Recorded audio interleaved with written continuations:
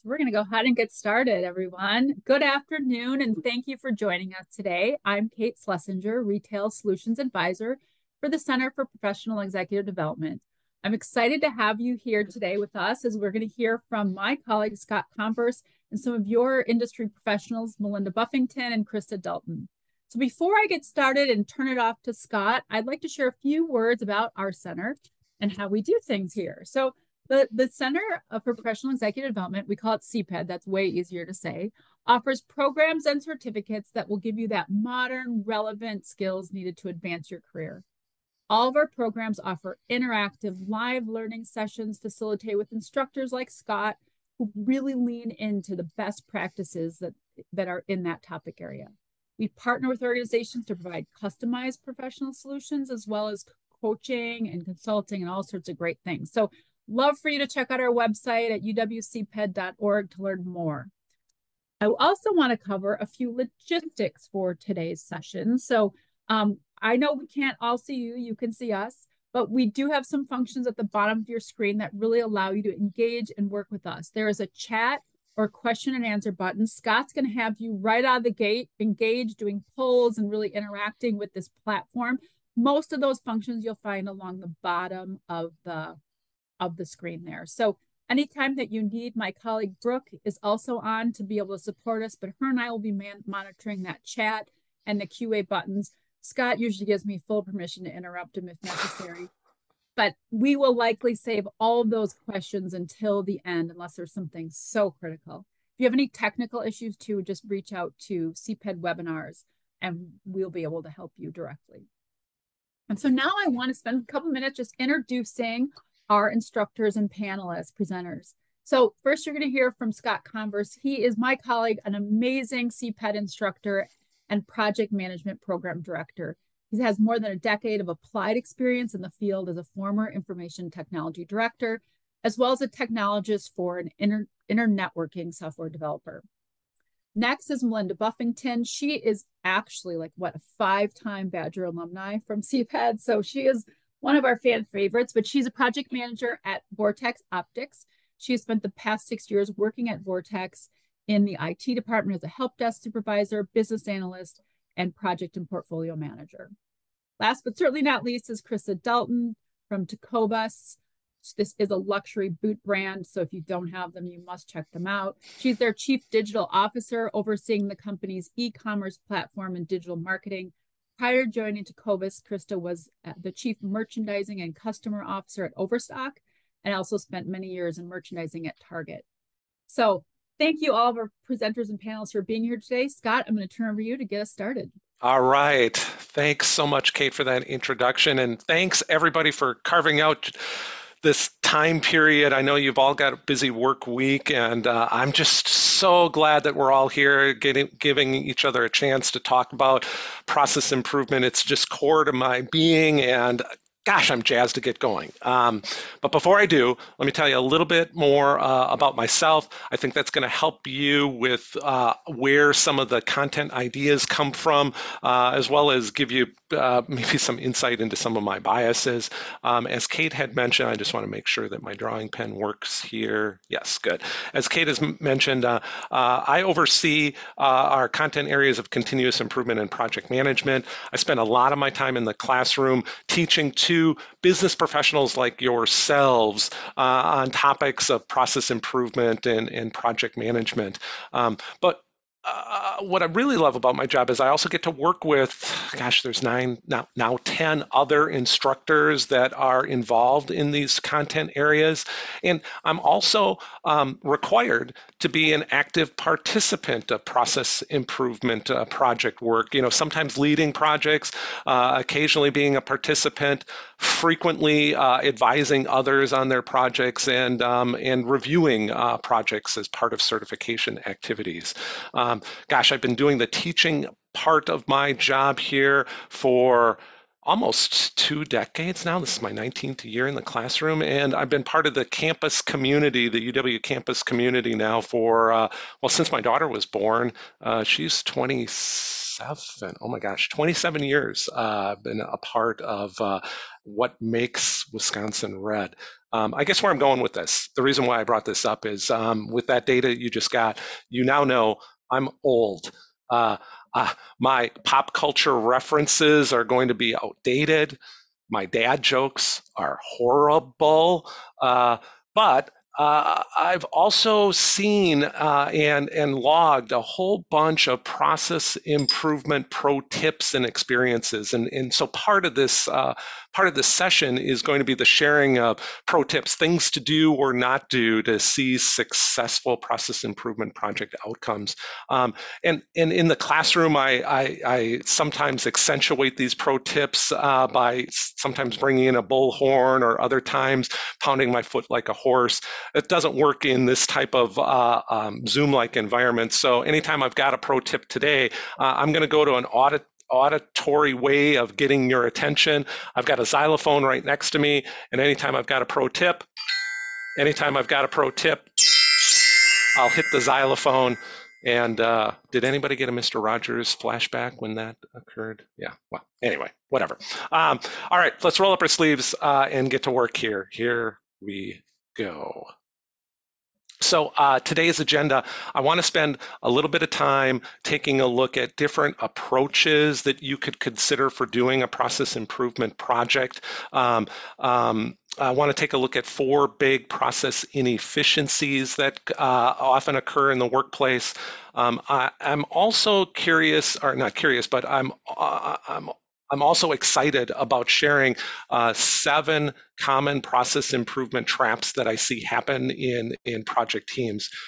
But before we kind of dive into that content, you know a little bit about me, you know a little bit about what our panelists are and uh, where they come from, um, but uh, we'd like to know a little bit about you. So I think Brooke, Brooke, are you out here right now? Uh, I've got three quick poll questions that I think are going to help me tailor the content, but also help you better understand who makes up this big classroom that we're in. And so the first one is um, tell me what industry sector best represents you. And this isn't an exam question, it's anonymous. Um, and uh, and so make your responses quick. Uh, Brooke, you let us know when you feel like you've got enough responses here. Where are folks coming from industry sector wise?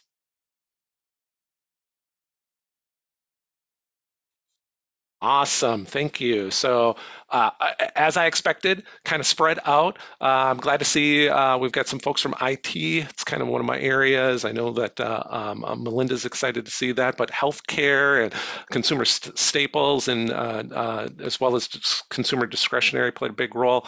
So, thank you for that. Um, Brooke, let's take a look at our next question. All right organizational function. Where, what do, you where, what role do you play in the organization?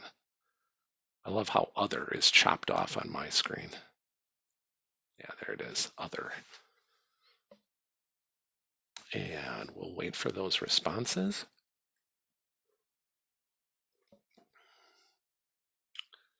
All right, Brooke, what have we got? Oh, lots of folks in ops as I kind of expected, but it's great to see the marketing and sales folks, human resources, uh, financials as well.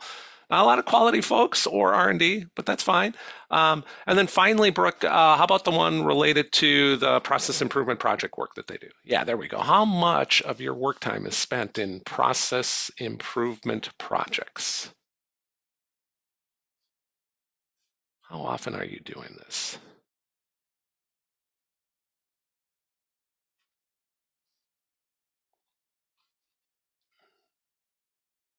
All right. What have we got, Brooke? And the responses are in. So uh, again, kind of what I expected, but I'm glad to see it. Uh, a good quarter of the audience, uh, practitioners that are that are doing this, and so I really encourage you, practitioners, fire up your chat and provide some additional context and feedback to some of the topics that we'll be covering in the agenda. And certainly for those of you that are that are new or only occasionally involved in process improvement work, bring up that chat feature and start pounding out those questions that you have as I as I present present the topics uh, at hand. Thanks, Brooke, for running the polls. Let's let's crush this agenda here. Here we go. Um, uh, and of course, Scott, in order to go to the next slide, you actually have to hit a button. There we go. What, one of the one of the reasons why I wanted to spend just a little bit of time talking about problem solving methodologies is because I find that when you're doing a process improvement project to try to make work better or to reduce frustration, which that is my definition of process improvement. You know, if you do a process improvement project well, you should reduce the frustrations that your folks within the organization are feeling. You should be reducing the frustrations that your end users or customers are feeling. And you should be making work better. Not perfect, but better. Um, any good process improvement project is about making work better or reducing frustration. Sometimes I find if a project didn't succeed, it wasn't because the individual didn't have skills or competencies, or the team did a poor job, or that the problem solving tools were ineffective. It was because the approach that they took wasn't well suited for the type of process problem that was happening. And so I want to explore three different common approaches to take for process improvement problem solving. And the first one, uh, action or option based problem solving, ironically, I learned um, in my first real job uh, when I was in high school and college. Uh, I used to work in retail at a KB toy store uh, in the Wausau, Wisconsin mall. Hey, if you were ever uh, working retail in a mall anywhere in the world, let's hear about it in the chat. Um, but if you ever went to the Wausau Mall and visited the KB toy store that I was at, I definitely want to hear about you. Um, in any case, uh, when I worked at this toy store, my my manager, his name was Mark uh, and the work group that we were a part of. It felt like uh, scenes from the TV show The Office. You know, Mark, in many ways, he even looked like Michael Scott we had we had a Dwight. Um, there was a Stanley and an Oscar. there was definitely a Toby. Um, oh, oh, my gosh! Um, even every now and then, Pam uh, and Jim would pop in. There was even a sort of a love story theme that was going on at this toy store with uh, with the Jim and Pam characters. Uh, Jan even popped in regionally and uh, checked on folks. It it felt like The Office in many ways. But um, uh, my my boss Mark, he even had a he even had a mug, and on the mug it, it said "World's Greatest Boss" on it. Um, but on his back office door, uh, when you would go into the back office supply room area, he had a little office in there. On his door, he had a sign that said, "Walk in with problems, walk out with solutions." Mark was an action based problem solver. Um, and I love action based problem solving. And I want to walk you through how action based problem solving works and then compare and contrast it to a couple of other techniques next. So, in an action or option based approach at uh, working on process improvement, I'm, I'm going to use the analogy that Mark gave me. Uh, I'm going to use the analogy of the dartboard where your process problem is the, the bullseye of the dartboard. And in action based problem solving, it's just a few steps uh, to perform action based problem solving. In step one, the assumption is somebody has come to you with frustration. Could be a, a worker, uh, it could be a colleague, it could be an end user. Uh, there is some sort of frustration in the workplace or from end users, and they come to you with this problem that needs to be addressed. And in step one of action based problem solving, you ask clarifying questions. Now, sometimes you're asking the questions because you're unfamiliar with the process, the process problem itself. Frequently, though, you're asking these clarifying questions not because you don't know about the problem. You've known about the problem for a long time. You're asking the questions to create a level level playing field in terms of the knowledge about what's going on in current state. These questions are sometimes to help increase the knowledge of the folks that are coming into the room that you're going to try to solve the problem As you're asking these questions, in step two, we're going to try to identify underlying issues. Now, academics call these underlying issues variables. And I like to use the analogy of the dartboard where the issues are variables. They're, they're like steps away from the dartboard that you are. And those little rounded humps that I just drew right there, those are like steps away from the dartboard. You know, one of the variables you might have with this poorly performing process is you've got a, a colleague or a coworker with a, a skill gap uh, or you've got a problem with an upstream supplier's quality of raw materials or products that you're working on, or or you've got uh, one of the issues is a struggle that you're having with one of the underlying uh, IT systems, the data repository warehouses that you're using to make decisions and and fulfill service requests from. Each one of those would be an underlying issue or a variable. Each one of those is a step away from the dartboard. And the third step for action-based problem solving, once we've laid out what those issues are in this quick bursted meeting environment, you then identify solutions that might address these issues. The solution is going to be this dart that I did not draw well, but pretend that that's a dart. And, and in the fourth step, the last step, it's all about implementation. You take that solution and you go out and implement it. And here's what we know, and we've done some research, some of it done in, within our own Wisconsin School of Business. High performers in the workplace, you are outstanding at implementation. And so you take that solution and you throw it at the bullseye, the business problem, and quite frequently you hit the bullseye, frustration has been reduced, work has been made better, the story ends, and the upside, the frown goes upside down, and folks are happy.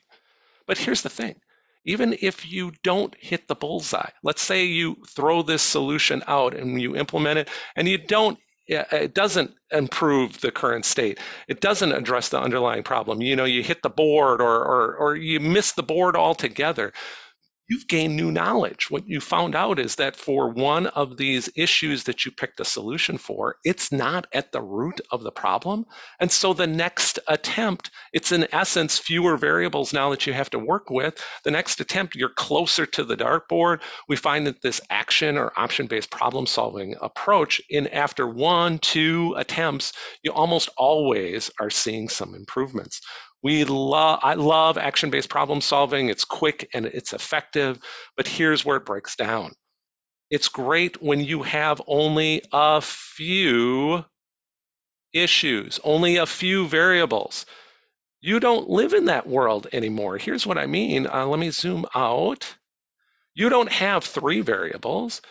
You have you don't have three workers, you have three different shifts of workers and they're across multiple geographic regions. And now let me zoom out further. You don't have you don't have just uh, one or two supplier issues. You've got multiple supplier issues. You've got upstream um, uh, upstream supplier issues, but you've also got multiple different types of customer complexity in the requests. Some folks asking for simple requests, others asking for complex fulfillment, and others asking for extraordinarily complex, never been asked of the organization before type requests. And then for a few of you, oh my gosh, it's even more difficult because you've got the dilemma of outside, uh, you've got outside regulatory and compliance, local, state, federal, international laws that you have to live with and, and build into your process.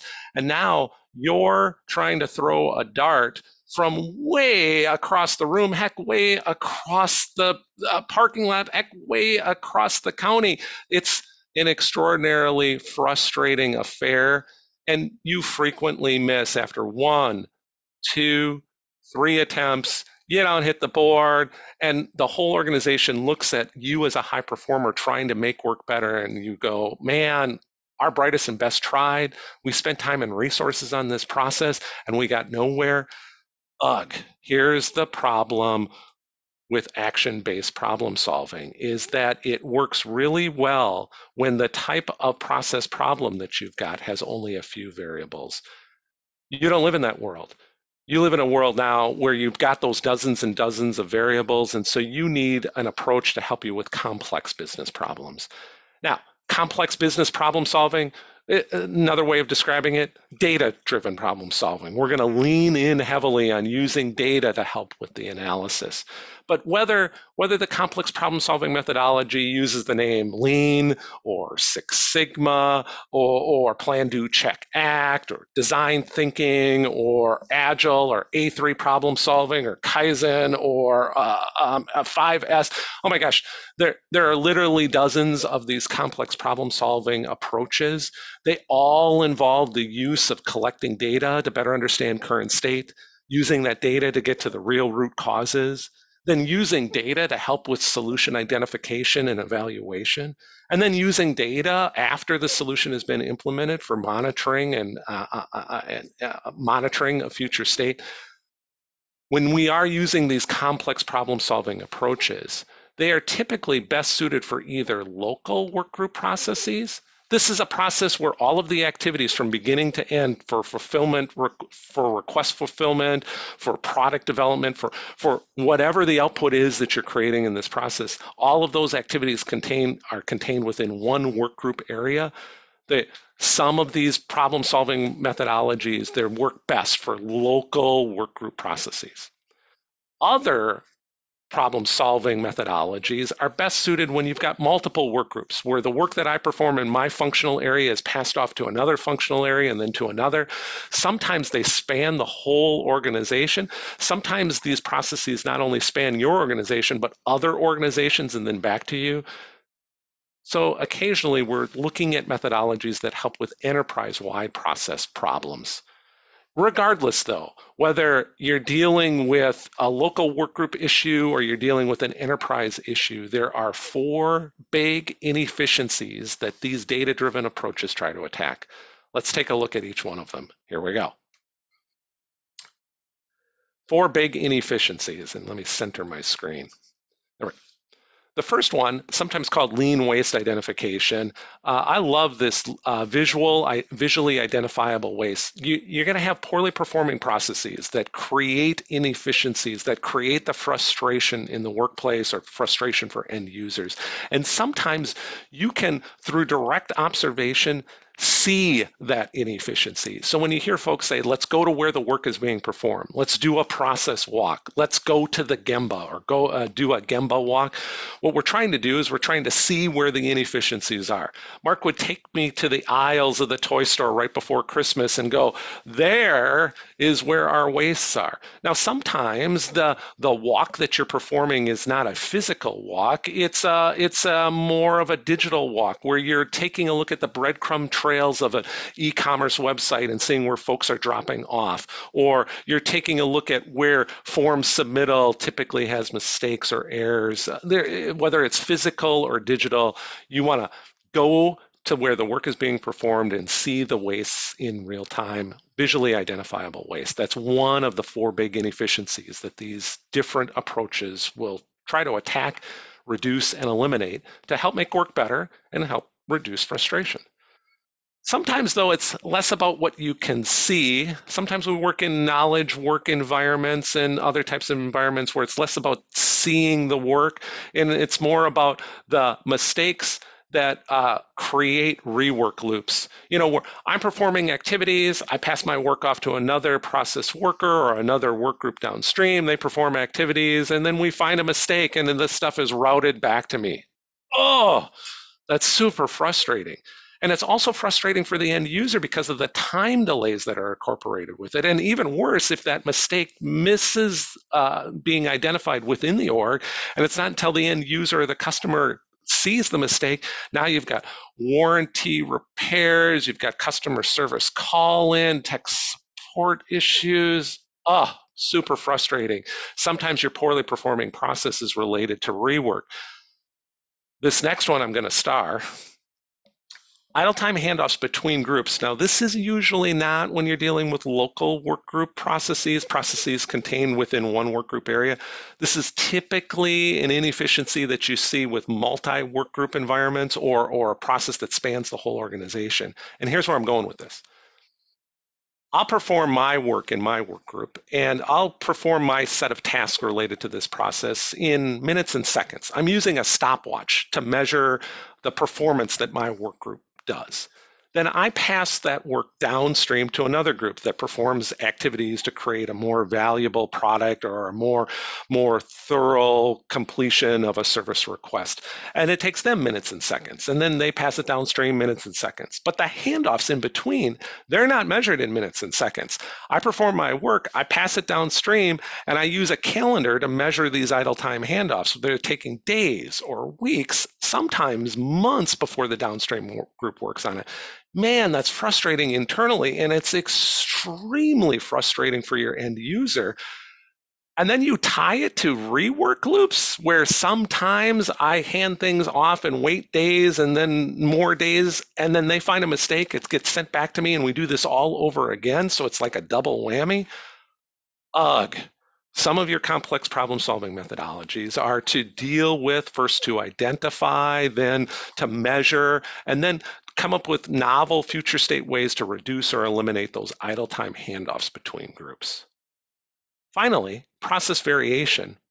Process variation can also be extremely inefficient that creates all sorts of frustration. And sometimes when we're talking about variation, we're talking about upstream variation. This is uh, where you've got different types of suppliers providing different levels of quality, um, or it could be upstream variation in the different types of customer requests that are coming in, where you have to build a process that not only handles the simple and the complex, but the extraordinarily complex customer requests. That can create inefficiencies. But sometimes it's not about upstream variation, it's about in process variation. And what I mean by in process variation is you've got established standards for the way that work should be performed. But you have different individuals and different work groups within the organization that feel that the established standard is not truly correct. They all have their unique and different ways that they want to perform their work activities. It should all be done the same way, but everybody does it in a uniquely different way. That creates inefficiency, which leads to frustration and it leads to uh, work not being better. But you can also have a third type of variation. We call it output variation. Output variation is where the, the product output or the service request output that you are supposed to be providing to your end users varies. You know, sometimes it's done quickly, other times it's extraordinarily long. Sometimes you're within the service level agreement that you've established with an end users, other times you've missed it by a wide by a wide margin. We talk about this in terms of output variation some of your complex problem solving methodologies are, are, are optimized to help with identifying and seeing that variation, reducing and eliminating.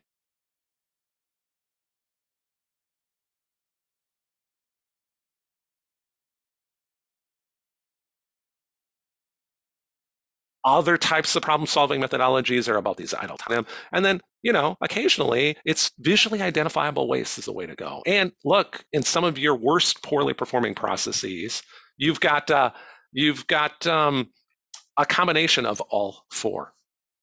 All right, uh, I just got a little Zoom uh, nastygram that said uh, my connection was a little unstable. We I know I'm a little you. unstable, but we uh, lost uh, is... you for just a couple seconds, but you seem to be back now. Okay, good, good, good. I I'm frustrated by my internet service provider right now. Um, all right, good. We've uh, uh, we're back. Uh, we're good. I hope we didn't. Uh, I hope I didn't lose you too much there. Four big inefficiencies. Let's take a look then at some of if we if we know that there are three different approaches at solving complex or three different approaches at solving process problems and that all of these methodologies or recipes are are to better understand the four big inefficiencies that we just laid out. Let's talk about some of the traps that we typically see in uh, process improvement teams. And i'm going to bring out my xylophone stick right now because i got a lot of pro tips coming up related to common traps. Here we go my first pro tip My first pro tip is about this thing called the working harder trap. And what I'm talking about in the working harder trap is the finger pointing that frequently happens when it comes to process improvement, where it's it's not about me, it's not about my group, it's about all of these other groups upstream and down. And and here's the thing about this. It's not a process problem, it's a, a people problem. If you tell high performers in the workplace that the way to see workplace frustration reduced and the way to make work better is by working harder, high performers in the workplace will do just that. They will they will work harder even in a poorly performing process with all of those inefficiencies that we talked about in performance if measured in a speedometer needle of performance performance will go up but in the short term, it's not sustainable, this working harder trap. You can't continue to just work harder without identifying the real root cause and reducing or eliminating those root causes. The working harder trap is a quick way at not doing data driven problem solving. You're basically saying there isn't a process problem, we just need people to work harder performance goes up in the short term, but then it drops right back down in the long term. And here's the thing when you tell high performers to work hard for a short burst, they will. But if this is now the new norm, eventually those high performers they leave. And then performance goes down to an even lower level watch out for the working harder trap. Just a, a simple way of saying this isn't a process problem. This is just a people problem. It's not. It's more than a people problem. It's it's it's those big four inefficiencies that are uh, driving this. The next one, this what doesn't get measured trap. Uh, I want to call this one out. One of the one of the characteristics of poorly performing processes is that is that we don't measure the frustration that's happening in current state. Now, that's not to say that all processes aren't being measured. We often have terabytes of data, whether it's on uh, uh, cost metrics, financial metrics, uh, other types of performance metrics. You may have reams and reams of data but frequently, in a poorly performing process, the frustration itself isn't being measured. And you'll sometimes have team members go, Well, if we don't have data on it, then we can't improve it. Uh uh-uh. uh. do not let that, don't slip into that what doesn't get measured trap. Part of good complex problem solving is using the data that's available. And if the data isn't available, building quick and effective techniques to help to measure that frustration. The better versus perfect trap. Oh, I blame Motorola on this one. And I'm not trying to throw Motorola under the bus. They did a lot of great work in the 80s. Heck, they're they're one of the organizations that's associated with the term Six Sigma problem solving. And if you dig deep in the Wikipedia journal entries or you dive into your business stats class, yeah, Six Sigma level of performance is only three defects per million opportunities. It's a nearly perfect process. And that's a trap it's not about making work perfect, it's about making work better. And sometimes it's about making work better iteratively and incrementally, where performance gains are established. That becomes the new norm, and now new performance gains occur. This quest for perfection can lead to analysis paralysis. And the old cliche, perfect is the enemy of very good, really does play a role here. Uh, don't let perfect be the enemy. Don't slip into that better versus perfect trap. Uh, this next one was one that I frequently saw from camera, uh, from from Mark, my boss at KB, and then when I worked in the software industry, some of you know from my classes, if you were an attendee, that I had a, a pretty crusty boss in the software industry named Cameron, and they frequently slipped into this this uh, current state current state assumptions trap. They weren't close to where the work was. They were they were multiple levels above where the work was happening. And and their assumption about what was happening in the workplace was not a real reflection of current state. But they would take their assumptions and then build solutions from those incorrect current state assumptions. Part of good data driven problem solving is to validate what really is going on in current state. Go to where the work is to do visual, uh, visual observation.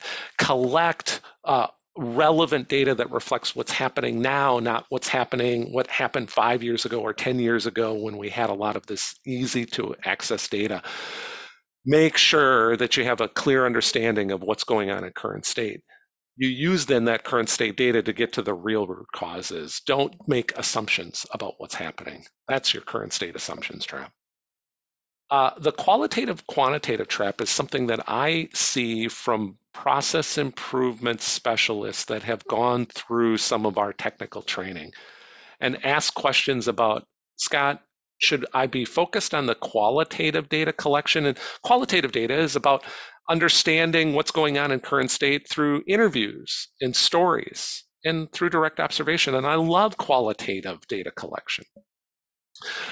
Quantitative data is about the numbers, it's about the database queries, it's about the spreadsheet analysis, and sometimes it's about the real time collection of the quant data when you have process workers tick and tallying or writing in their time in, time outs on a, on a, a pretty uh, simple form collection tool. It's not which one is better, it's the combination of both we almost always recommend that you want to start with qualitative data, especially with immature processes where you're not really measuring the frustration. Get those stories, get that anecdotal feedback, and then use the quant data to help validate what was heard or use that quant data to refute what was heard. Because sometimes when you ask people tell me what's broken in current state they slip into a recallability trap where they they tell you about the one time that the process broke down and they forget to describe the 9999 other times where it was successful. So watch out for that. You want to use both when you're doing effective process improvement project work I'm going to star this next one, this uh, valuable variation trap, because this is especially important for you folks in the retail area. And actually, important also for you folks in healthcare, important for any uh, uh, organization in which your unit of production is not a piece of steel that you're turning into an automobile, where your unit of production is a human being you know, Toyota uh, was is, is, an organization famously known for quality improvement. They've done a lot of great things, and we talk about them in classes and their approaches and techniques a lot. But one of the ways that Toyota became a uh, known in quality circles uh, as being a really effective organization is they would limit variation upstream by saying, "Look, you're not going to get to choose between 5,000 different car variations. For the, your Toyota Camry, you get the good, better, or best with these set features in good, better, or best. You don't get 10,000 different choices. They didn't, they didn't rely on hundreds and thousands of suppliers. They limited that upstream variation. But when you're dealing with humans, you can't always shut the door. Like you can't say um, our our emergency room is only going to take in folks with broken legs and not people with the flu or with heart ailments. You can't always tell your customers you don't get to choose from all of the product offerings. You don't get to make that type of work request. You have to deal with the upstream variation. And so frequently in in retail environments and in environments where you've got humans as the unit of production, you have to build robust future state processes that work well with that upstream variation. You can't get rid of it. You embrace it and then build processes that are strong to support it. Finally, uh, I'm going to double star. I'm going to hit the xylophone. I'm going to do everything I can to remind you that maybe the most important piece to process improvement success is understanding the role that buy-in plays all data driven problem solving methodologies, they are going to give you technically robust solutions that attack root causes. But they're almost always going to change the way that work is being performed. You're going from a current state that's frustrating to a future state that's better. Something has to change. Work is frequently what's going to change. And I'm cool when other people have to change their work. But if I've been working and been successful in my work, that's going to be a difficult pill for me to swallow to say, Scott, suddenly you have to change the way your work's being performed. Even if you say there's a lot of frustration and this is going to help end users. Hey, I've been successful. I've adapted to the frustrations of current state. It's tough for some folks to want to buy into future state changes. Part of an effective process improvement project is figuring out ways to create change readiness, to increase that user acceptance and buy-in to those eventual future state solutions. It's as important as the data-driven problem solving. In many ways, it's more important than the data-driven problem solving. You've got to build into your process improvement teams and projects ways to better manage change, better prepare folks for change readiness and increase user acceptance and buy-in. Ah, oh, seven big ones right there. Um, that was a lot in a short period of time. We've covered we've covered three different problem solving methodologies. We've covered seven common process improvement project traps. There's been a lot of xylophone ringing and dinging along the way it's time for me to finally take a breath, grab some water.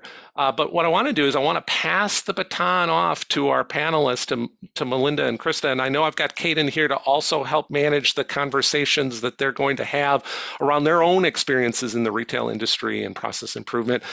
Let me zip it. Uh, I'll be behind the scenes taking a look at some of the chat questions, and we'll all be back together for the final Q and A. But let, let me pass the baton over to Kate, Melinda, and Krista. Take it away. Thank you. Thank you, Scott. There is a burning question I think we're all wondering. Did all of your earnings at the KB store, toy store, go to the Aladdin arcade in Orange Julius? yes. So you Somebody have a, you have a Wausau fan. Someone knows the Wausau Mall. I loved my strawberry Julius's. Oh my gosh and uh, and it was um, I think it was it was Galaga where I spent all of my Aladdin token dollars on. Oh, wonderful! Yes. Wow. All right. Wow. Well, thank you, Scott, and and welcome, Melinda and Krista. As we kick off this panel, I just want to. I think the the audience just wants to hear just a little bit of your background. I give a very high level bio, but Melinda, let's kick off with you. Why don't you tell us a little bit about your role and maybe how process improvement plays a big part of it? Yeah, definitely. Um, so I'm not a five-time, but I am a three-time alumni at CPED. Um, so I do have certifications in business analysis, uh, project management, and then um, advanced management and leadership, uh, along with also 15 years in the information technology uh, department. So um, I did receive my yellow belt from UW uh, in Lean Six Sigma. Uh, so that's actually come in very handy with a bunch of the process improvement projects that we've worked on here at Vortex. Um, so again, I was at Vortex or I've been at Vortex for six years. Um, and I've seen a lot of things come through.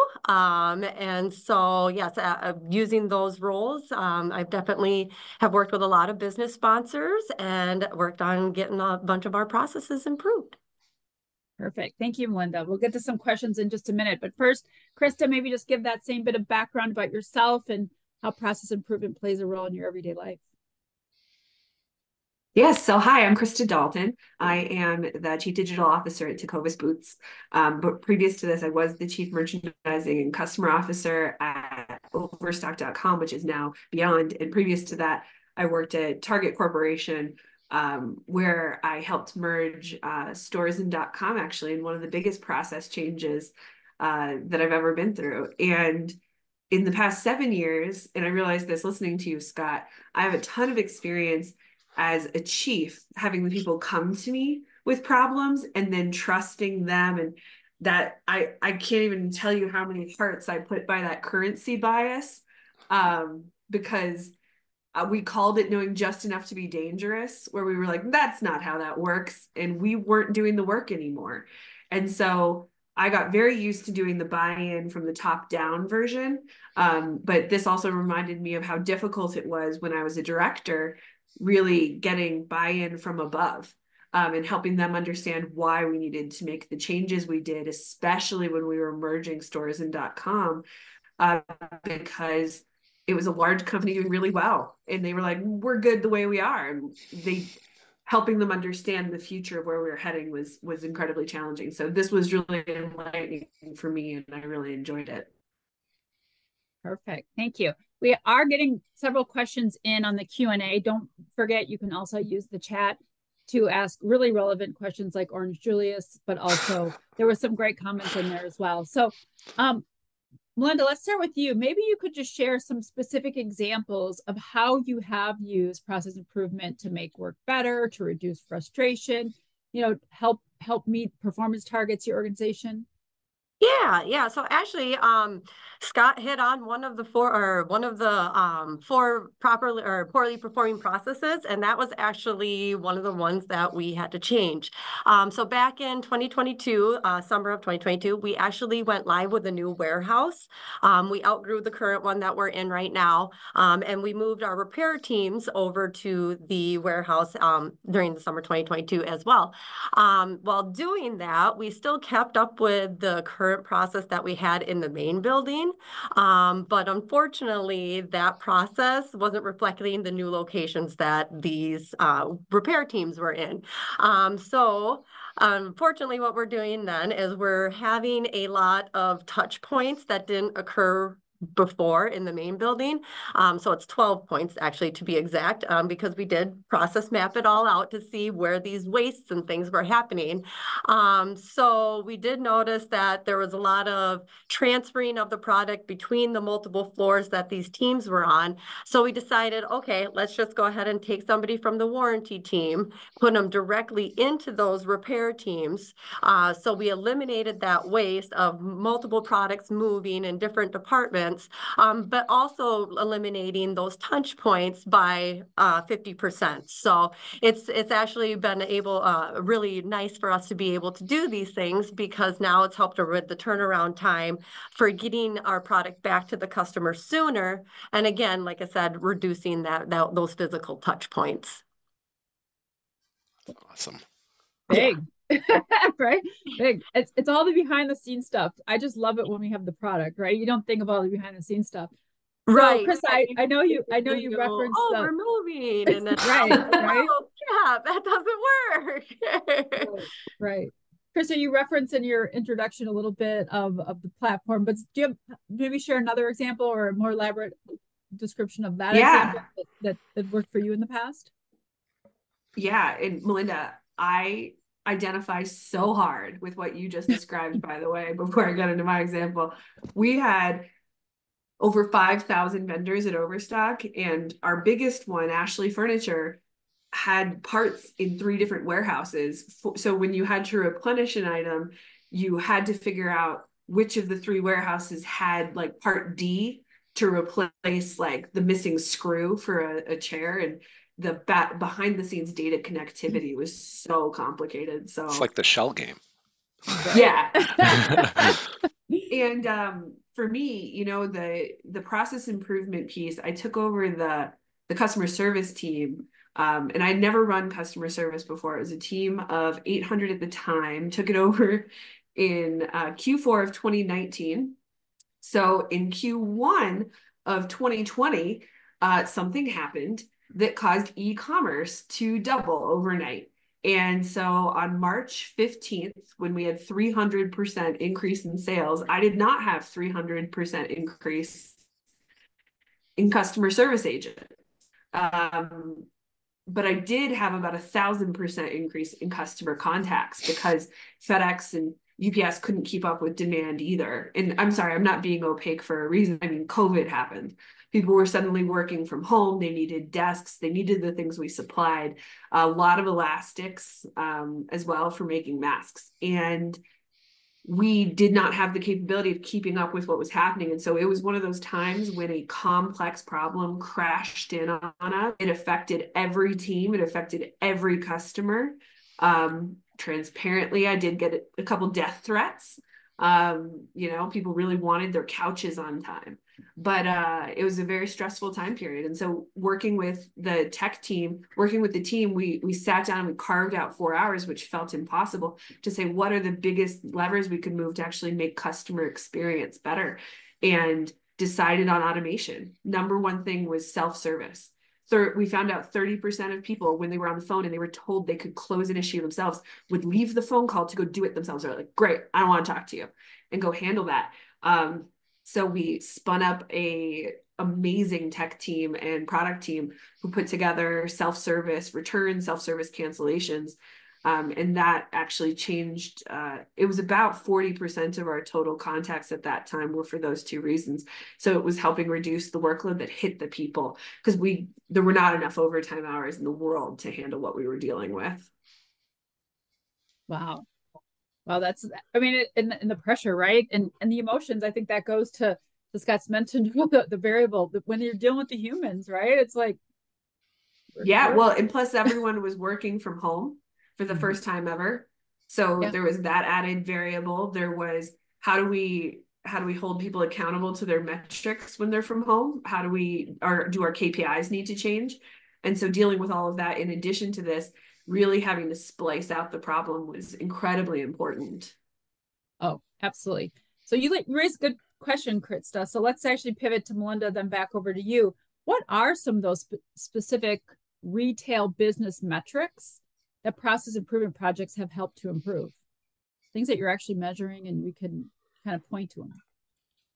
Yeah, so like our um our marketing team, um, we actually wanted to try and reach out and get like a larger uh, base for our customers. Um, so every year we always send out or we provide a catalog for um, all of our um, for all of our customers to look at any new products that are coming out, um, new apparel. We have a couple of promotional things in there like stickers. Um, we do like background uh, stories for the employees to kind of create a rare experience for the um, for our customers. Um, and then so this year, like I said, we wanted to try something out a little differently, um, and we wanted to reach a larger scale of people. Um, last year it was 2,000 catalogs that we ended up um, reaching out to. So we were kind of looking to hit at least just doubling that. Um, so we made a couple of changes of the way that we do the process for um, our customers to request a catalog. Uh, before we used to use our contact us form uh, or our contact us page. The problem with that is, is we have multiple forms that the end user can fill out um, on the contact us page. So um, we're actually kind of pushing it toward the customer to click and look and figure out which form it is, click on it, fill out all their information. Um, so this year we kind of changed it up and decided to use a Instapage um, instead of going through that um, page that we have on our website. Um, and actually the, the nice thing about it is, is it was just a page, the end user could click on it and it streamlined us collecting that person's information. Um, and then it would direct that information back into our system so then we could get that catalog out to them. Um, so so again, like I said, back in 2023, we had 2,000 um, of these requests. Uh, we just implemented this new Instapage instead, um, starting the beginning of 2024. And we've actually reached 8,000 requests now just by changing up this one little feature. And so yeah, that, that was a the 300% increase, which was just insane to us. So um, luckily we did uh, kind of give our warehouse team a heads up and let them know that this was going to be coming their way.